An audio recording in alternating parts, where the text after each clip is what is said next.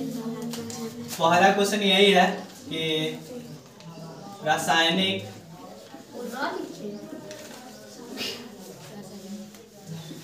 रासायनिक अभिक्रिया किसे कहते हैं? पूछिए सबसे चलो रासायनिक अभिक्रिया किसे कहते हैं? कौन बोलोगे? हाथ उठाओ। इतना कम चल बाकी लोग याद नहीं किए हो। चलो एक बार हम बोल देते हैं और उसके बाद कोशिश करना है कि सभी लोग के याद हो जाए, ठीक है? बैठो। अच्छे से सुनना गौर से और इसको माइंड में बैठा लेना, उसके बाद जब कोई पदार्थ, ठीक है? जब कोई पदार्थ अकेले ही, ठीक है? दो उदाहरण बताया, जब कोई पदार्थ अकेले ही या अन्य पदार्थ से अभिक्रिया करके भिन्न गुण वाले एक या एक से अधिक पदार्थ का निर्माण करता है, उसे रासायनिक अभिक्रिया कहते हैं। ठीक है? तो जब कोई पदार्थ अकेले ही तो यहाँ देखो C S C O three क्या अकेले है? बिल्कुल अकेले है। है ना? C S C O three अकेले है इसको टूटने से क्या करेगा? दो को पदार्थ का निर्माण होगा। क्या क्या होगा? सी ए ओ और सी ओ टू यही बनेगा ना? सी ए ओ और सी ओ टू ठीक है? तो जब कोई पदार्थ अकेले ही, ठीक है? या अन्य पदार्थ से, जैसे एस टू और ओ टू अभिक्रिया करता है, ठीक है? इसको संतुलित करने के लिए दो से गुना कर दिया। तो क्या बनाता है? Two S two O. क्या बना? जल। ठीक है? क्या बना? जल। एस टू ओ क्या है? जल है। तो क्या है? जब कोई पदार्थ अकेले ही या अन्य पदार्थ से अभिक्रिया करके भिन्न गुण वाले एक या एक से अधिक नए पदार्थ का निर्माण करता है, उसे रासायनिक अभिक्रिया कहते हैं। ठीक है? तो रासायनिक अभिक्रिया किसे कहते हैं? तो जब कोई पदार्थ अकेले ही या अन्य पदार्थ अभिक्रिया करके भिन्न गुण वाले एक या एक से अधिक नए पदार्थ का निर्माण करता है, उसे रासायनिक अभिक्रिया कहते हैं। अब बोलिए हाथ उठाइए तो? तो एक बार और सुन लो। जब कोई पदार्थ अकेले ही या अन्य पदार्थ से अभिक्रिया करके भिन्न गुण वाले, देखो भिन्न गुण क्यों बोल रहा है? क्योंकि यहाँ जो हाइड्रोजन क्या है? जलने वाला है पदार्थ, ठीक है? इसको जला सकते हैं इजिली और तेज़ी से जलता है, ठीक है? हाइड्रोजन गैस जलता है ना? हाइड्रोजन गैस जलता है। यहाँ O2 क्या है? नहीं, जलाने में सहायक होता है। बिना ऑक्सीजन के कोई भी पदार्थ जलेगा क्या? नहीं जलेगा ना? बिना ऑक्सीजन के कोई पदार्थ जलेगा? नहीं। ऑक्सीजन आवश्यक है जलाने के लिए कोई भी पदार्थ को। तो ये क्या है? जलाने में सहायक होता है, ठीक है? ये जलाने में क्या होता है? सहायक होता है। ये क्या होता है? जलता है खुद, ठीक है? ये जलता है, ये जलाने में सहायक होता है। और ये जो पदार्थ बना, ये बुझाने वाला बन गया जल। जल से बुझाते हो ना? आग लगा हुआ है तो। लेकिन बिजली का अगर आग लगा हुआ है तो वहाँ जल से जाओगे, बुझाने तक करेंट मार देगा वहाँ पे क्या चीज़ से बुझाओगे? पता है? मिट्टी बालू या कार्बन डाइऑक्साइड का जो अति आता सिलेंडर उसको कार्बन डाइऑक्साइड अगर बाहर अति करोगे रिसाव करोगे तो उससे बुझ जाएगा। ठीक है? तो वहाँ पे क्या चीज़ से बुझाया जाता है? बिजली ये सब का आग लगता है तो? गैस सिलेंडर ये सब का आग लगेगा? तो वहाँ से पानी नहीं डालना। नहीं तो फिर आ, बहुत बड़ा आग लग सकता है। इसलिए वहाँ पे क्या करोगे? बालू, मिट्टी कार्बन डाइऑक्साइड गैस ये सबसे क्या करोगे उसको बुझाओगे, ठीक है? लेकिन नॉर्मली क्या चीज़ से बुझता है? जल से? पानी से बुझता है ना? तो यहाँ देखो, ये दोनों क्या था? एक था आग जलने वाला, एक आग लगाने वाला, एक बुझाने वाला, ठीक है? यहाँ से देखो सी ए सी ओ थ्री ठीक है? ये क्या हुआ? ये टूटा तो क्या बना? सी ए ओ और सी ओ टू ठीक है? तो ये एक पदार्थ है टूटने के बाद दो पदार्थ का बना? ठीक है? ये दो पदार्थ अभिक्रिया किया अब बना क्या एक पदार्थ बना, ठीक है? तो जब कोई पदार्थ अकेले ही या अन्य पदार्थ से अभिक्रिया करके भिन्न गुण वाले, ये याद रखना है, भिन्न गुण वाले एक या एक से अधिक पदार्थ का निर्माण करता है, उसे रासायनिक अभिक्रिया कहते हैं। ठीक? हम लोग हम लोग पढ़े थे कि रासायनिक अभिक्रिया का गुण क्या क्या है। यही पढ़े थे। तो रासायनिक अभिक्रिया का पहला गुण में हम लोग क्या पढ़े थे? गैस की उत्पत्ति। ठीक है पहला में क्या पढ़े थे? गैस की उत्पत्ति। गैस की उत्पत्ति। गैस की उत्पत्ति। दूसरा में हम लोग क्या पढ़े थे? अक्षेप का अपक्षेप का बनना। बनना।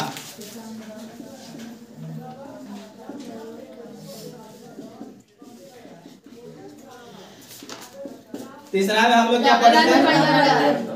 क्या पढ़े थे रंग में परिवर्तन। में। परिवर्तन।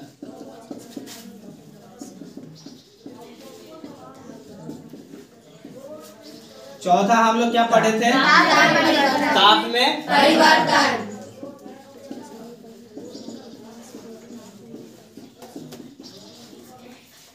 पांचवा में हम लोग क्या? अवस्था में? परिवर्तन।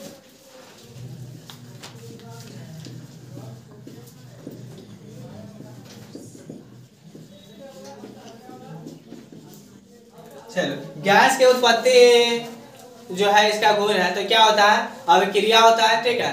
तो वैसे रासायनिक अभिक्रिया जिसमें अभिक्रिया के बाद प्रतिफल के रूप में गैस प्राप्त होता है, ठीक है? प्रतिफल के रूप में गैस जो होता है विलयन से बाहर निकल जाता है, ठीक है?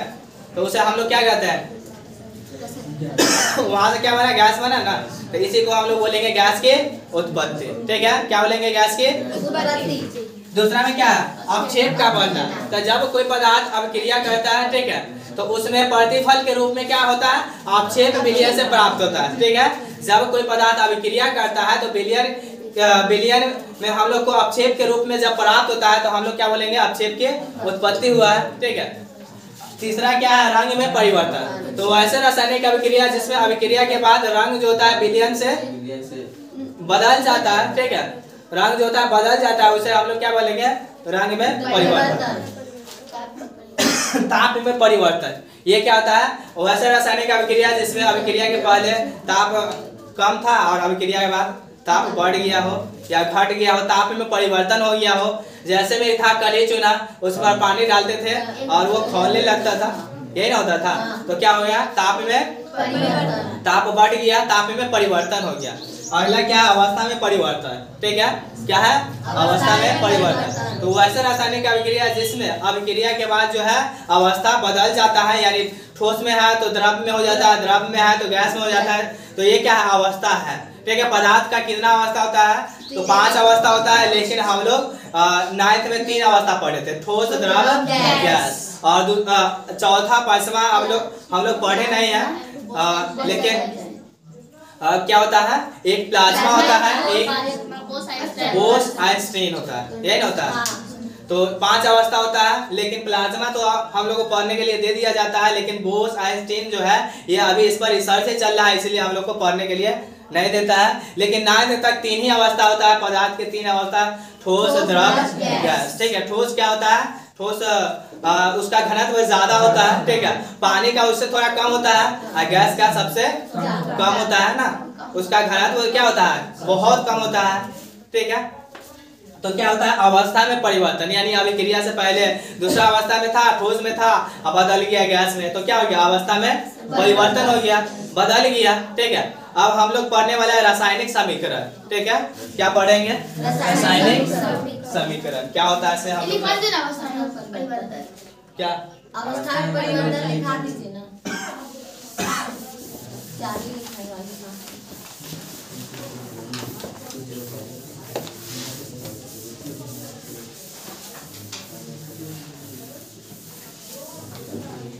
पहले ये सब पढ़ लेते हैं उसके बाद एक ही बार लिखवा देंगे, ठीक है?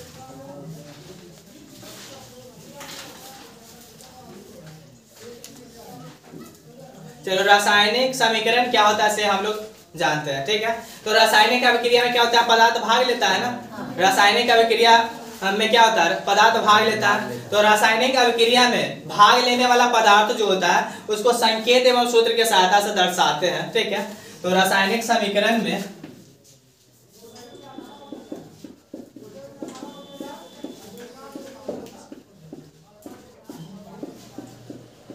रासायनिक समीकरण में क्या होता है?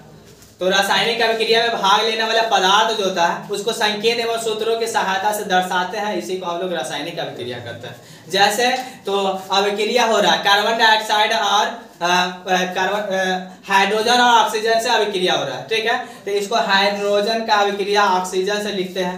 ऐसे लिखेंगे, अब बनने के बाद क्या बना? जल बना। ठीक है? तो ये हिंदी में लिखना काफ़ी मुश्किल हो जाएगा पूरा, ठीक है? लेकिन अगर हम हाइड्रोजन का बात करें तो ये क्या एस टू लिख सकते हैं। ठीक है? ये क्या है? हाइड्रोजन का संकेत है। ठीक है? एस टू क्या है? सूत्र हो गया। ठीक है? एच क्या है? संकेत है। इसका हाइड्रोजन का संकेत लिखवाए थे ना? एच होता है। हाँ। ऑक्सीजन का संकेत क्या होता है वो होता है। हाँ। इस प्रकार से लिखवाए थे। हाँ। तो संकेत एवं सूत्रों के साथ आते तो ये क्या है? संकेत है। एच हाइड्रोजन का संकेत है। और दो गो अणु है इसीलिए एस टू लगा दिया है। ठीक है। तो संकेत एवं सूत्रों के सहायता से दर्शाते हैं इसी को हम लोग क्या बोलते हैं? रासायनिक समीकरण। ठीक है? तो रासायनिक अभिक्रिया में भाग लेने वाले पदार्थों को संकेत एवं सूत्रों के सहायता से दर्शाने क्या होता है? रासायनिक समीकरण होता है। ठीक है? रासायनिक अभिक्रिया में भाग लेने वाला पदार्थों को संकेत एवं सूत्रों की सहायता से दर्शाना ये क्या होता है? रासायनिक समीकरण। समीकरण। ठीक है? सबको आया समझ में? रासायनिक समीकरण क्या होता है? तो रासायनिक अभिक्रिया में भाग लेने वाले पदार्थों को संकेत एवं सूत्रों की सहायता से दर्शाना ही क्या होता है? रासायनिक समीकरण। पीछे वाला पता चला क्या होता है रासायनिक समीकरण? बोलोगे। देखो रासायनिक अभिक्रिया में क्या होता है? एक या एक से अधिक पदार्थ भाग लेता है। लेता है ना तो रासायनिक अभिक्रिया में भाग लेने वाले पदार्थों को संकेत एवं सूत्रों की सहायता से दर्शाना ही रासायनिक समीकरण होता है ठीक है रासायनिक अभिक्रिया में भाग लेने वाला पदार्थों को संकेत एवं सूत्रों की सहायता से दर्शाना ही क्या होता है रासायनिक समीकरण होता है ठीक है जैसे H2 क्लोरीन से अभिक्रिया किया ठीक है Cl2 से अभिक्रिया किया तो क्या बनाएगा 2HCl ठीक है? एस सी एल क्या है? हाइड्रोक्लोरिक अम्ल है, ठीक है? एस सी एल क्या है? हाइड्रोक्लोरिक ये क्या है हाइड्रोजन है? ये क्लोरीन है। ठीक है? यहाँ हाइड्रोजन का क्या गो परमाणु है? दो। गो। यहाँ क्लोरीन का क्या गो परमाणु है? दो। गो है। ठीक है? ये दोनों अभिक्रिया करेगा तो क्या बनेगा? हाइड्रोक्लोरिक अम्ल ठीक है? HCl क्या बनेगा? HCl HCl क्या? हाइड्रोक्लोरिक अम्ल अम्ल है। है। तो यहाँ हाइड्रोक्लोरिक अम्ल क्या बना? दो गो। ठीक है। तो HCl बना। ठीक है? तो क्या क्या से अभिक्रिया करवाया है? हाइड्रोजन और क्लोरीन से अभिक्रिया करवाया है तो क्या बना है? हाइड्रोक्लोरिक तो इसे हिंदी में लिखेंगे तो क्या लिखेंगे? हाइड्रोजन फिर क्लोरीन फिर लिखेंगे हाइड्रोक्लोरिक अम्ल ये काफ़ी ज़्यादा लंबा समीकरण हो जाता है ठीक है? हिंदी में लिखते तो। तो इसी को हम लोग क्या कर दिए इसको क्या कर दिया शॉर्ट कर दिया ये ना अब यहाँ हाइड्रोजन का क्या गो अणु था? दो। तो यहाँ लिखते हैं हाइड्रोजन का दो अणु प्लस क्लोरीन का दो अणु, ये लिखते हैं। उसके बाद लिखते हैं अभिक्रिया के बाद क्लोरीन का दो अणु प्राप्त हुआ। ये लिखते हैं। यानी ये कुल मिला के एक लाइन का समीकरण बन जाता। मान लो कि इससे बारह होता तो ज़्यादा भी हो सकता है ना, ये तो शॉर्ट है छोटा। एक के लाइन का होगा, पाँच छह लाइन का हो जाता। अब पाँच छह लाइन के समीकरण हम इतना इजी समीकरण को पाँच छह लाइन में लिखे इससे ज़्यादा अच्छा है कि हम लोग क्या सोचते हैं? शॉर्ट में हो जाए।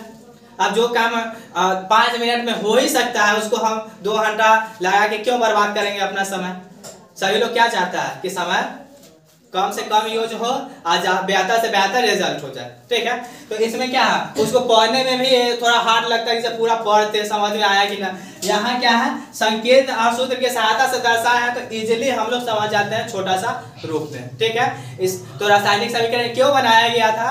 तो इसलिए बनाया गया था ताकि समय कम लगे, कागज़ कम लगे। ठीक है? कागज़ कम, पेज कम लगेगा ना? इसको इसमें ऐसे लिखेंगे तो पेज कम लगे, समय कम लगे।